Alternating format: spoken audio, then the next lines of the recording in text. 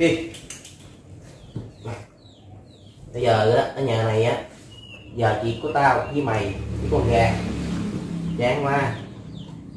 Bây giờ đó quay phim không? Bây giờ tao sẽ bắt mày đi quay phim nha. Quay phim làm video để có video đăng youtube. Ok không? Rồi ok đi.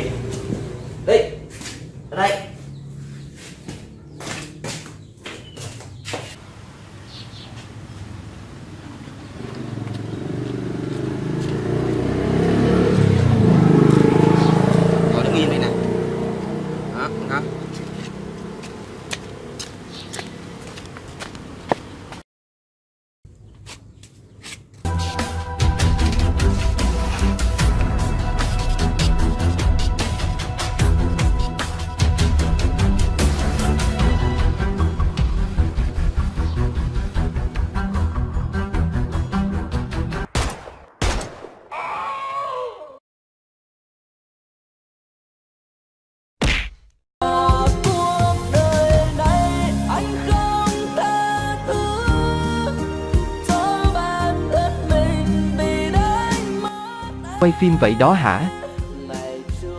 Té đâu thấy ông nội luôn.